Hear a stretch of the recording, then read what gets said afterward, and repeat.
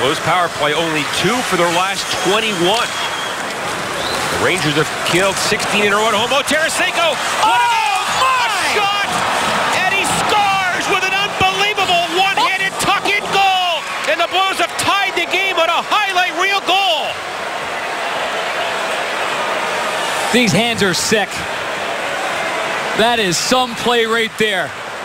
He's improved his speed and his conditioning in the offseason. Takes the pass here as Shattenkirk plays it back to Tarasenko. One, two, then going to the forehand to the backhand, one hand on the stick, and behind the goaltender who's got no chance on the play. This is just absolutely brilliant right here. And you're going to see this every night on the highlight film for weeks to come.